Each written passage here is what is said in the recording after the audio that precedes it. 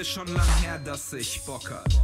Texte zu schreiben und hoffte, dass die Sache groß wird, dass ich, wenn's losgeht, da stehe und sag, dass ich froh bin. Logisch, ist nicht alles so schlecht an dem Lifestyle, doch auch nicht schlimm ist es morgen.